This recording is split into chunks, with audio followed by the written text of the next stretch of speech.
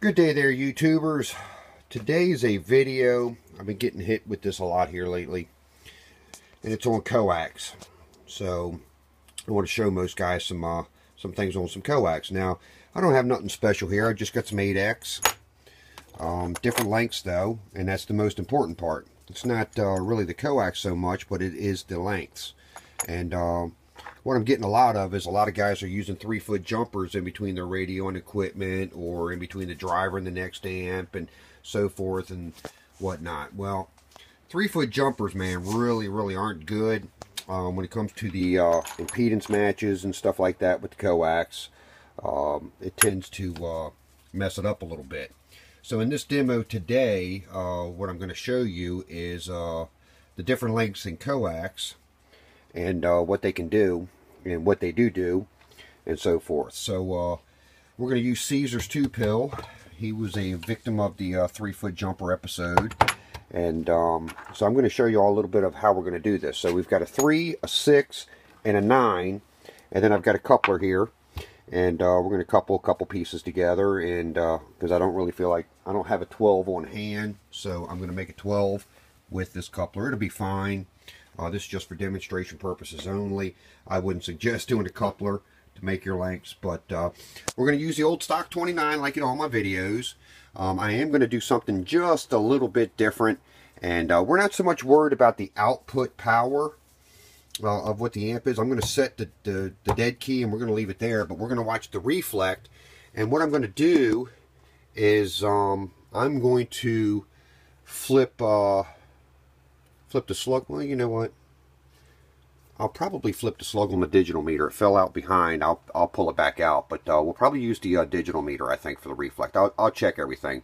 But uh, let me get everything set up and in line, and we'll start off with the three-foot jumper, and we'll go from there. And just remember, all this is terminated into my bird dummy load down there. So uh, it is what it is. We will be back.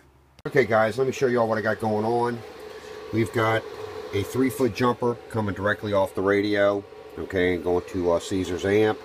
And then of course my normal setup. Now I uh, changed out the slug. I'm not really worried about output power right now. I've got the mic gain off. So I just needed the 250 in here to set a dead key. And what I'm going to show you is 40 watts. 40 watts on the dead key. Now I got a half watt slug here for reflect back at the radio.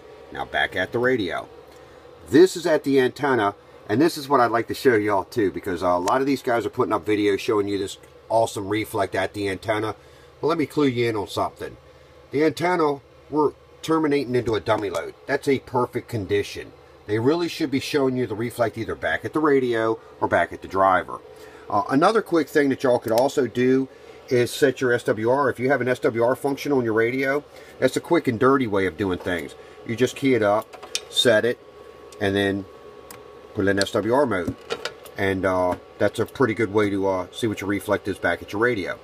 Now, um, I've got the uh, 500 milliwatt slug back at the radio, so we're carrying about a 40 watt dead key, and as you see, it's about 18, about 18 right now. So uh, give me a second, I'm going to change out some uh, to the next size jumper and show you what the next deal is. Alright guys, right now what I've got in line is a 6 footer. Okay, so that's the next piece of coax I've thrown in line is a 6 footer. So remember, I'm not worried about the output power. What we're worried about is the reflect and the reflect. So this is input reflect, that's output reflect. And as I've told y'all before, that is on the dummy load, which would be your antenna, which is a BS uh, kind of reading that some of these guys show you in their things. And of course, we already know that I've calibrated my, see, it's not even moving now. And that's when it tells you about, that, that's a quick and easy way if you don't own a bird setup. Just set your SWR cal and roll with it. And here we go on the quarter watt slug. And look how much it dropped. Okay. And then, of course, antenna. Nothing. Nothing on antenna. So, I mean, let's move on. We're going to go to a 9 footer next. And then what I'm going to do is combine two sixes together and make a 12. And we'll stop there. I'll be back. Alright, guys. Now, let's go back to the... Uh, we've got the 9 footer in line. And um, I haven't changed anything on the radio. Still where we've been. Still the uh, quarter watt, uh, the 250 milliwatt slug. Still the same reflect. All we're doing is testing jumpers, okay? And this is what they'll do for you. Now, we've got the 9 footer in line. And look at it now. I mean, it dropped a whole lot. Still nothing on the antenna, which is what I tell you guys. And look, SWR meter's not moving at all on the 29. Okay, most boxes are pretty much optimized for about a, uh, the velocity factor of the coax that you're using. Okay, but most people don't know how to add all that up or do whatever. And so nine times out of ten, when I'm talking to a customer on the phone, I usually tell them, look, you know, usually the best on a mobile situation is a 12 foot jumper. In a base station scenario, you can usually get away with a six. But uh, let me move on. I'm going to add two sixes together to make a 12, and then we're going to end it there. All right, guys, let me give you a little rundown of what I got going on here. I got my original six that we always test the amps with, and it's into a coupler, which is going to the original six that we tested with a little while back. Okay, and of course, it's the same scenario 250 watt milliwatt slug. I mean, I know I didn't really, really show it in the videos, but uh, it is 250 milliwatts. Still got the 5 watt for antenna reflect. Antenna reflex on the digital Dave. Reflex there. Haven't touched the dead keys at all. And we'll show the radio first. Look at it. Still same thing, not moving.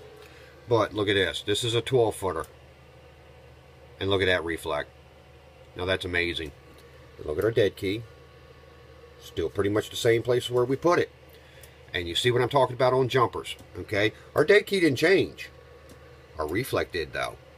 And in turn, remember, the lower you can get that reflect, the cooler everything stays.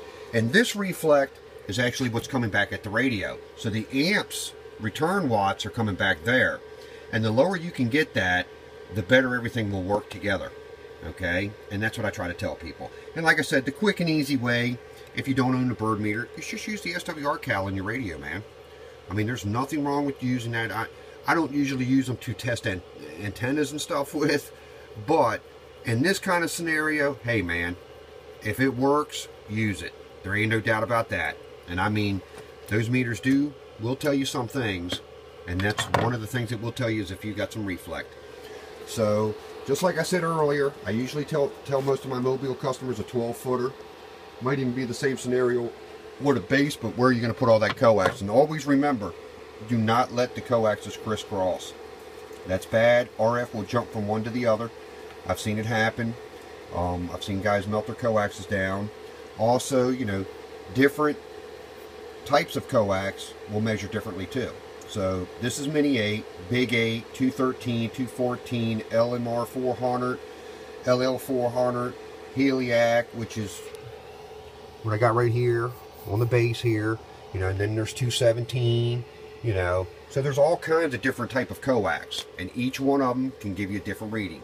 And like I said before, usually the best case scenario is velocity factors, but sometimes, you know, uh, it, that can get a little confusing. So it's just easier to do, go, you know, go with the six footers. And you'll see what the reflect looks like.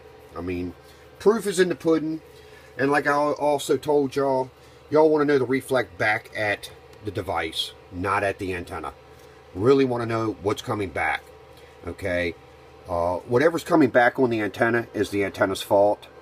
And in this case, we're using a bird dummy load. So of course I don't have no reflect because it's a, you know, 50 ohm dummy load.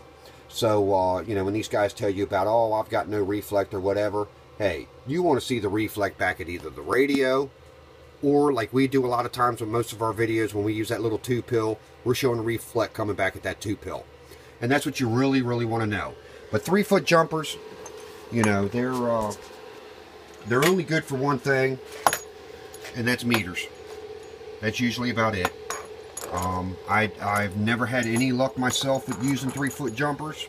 Every time I've ever used one, pop goes to weasel, meaning the amplifier's blown up. But Caesar, we appreciate you uh, letting us use your uh, amplifier for this test video. Hopefully this is informative to a bunch of people. I know there's a lot of people that have asked me about it. And that's the reason why you don't use three-foot jumpers. I know uh, all the truck stops tell you three-foot increments, but that's not really right. On, especially like Mini 8, you know, if you're trying to find the quarter wave of the velocity factor, it's more or less right around 7 foot, somewhere in that area. Quarter wave, or half wave, I'm sorry, is a uh, little, it's almost 10 foot, a little over 9. So, I mean, it depends on the brand that you use. You know, if you've got Belden coax like we have here, You know, every brand has, you got to figure out the velocity factor for that brand. But I hope, hoping uh, this was an informative video. That's about what it was meant to be. Uh, help you guys out, get y'all out there talking better. Just remember, the lower your reflect, the better you talk. The cooler your amp stays, the longer you can talk. That's what it all transpires to. You get a few things out of this when you get your reflect low. You get more watts and longer talk time. And who doesn't want both?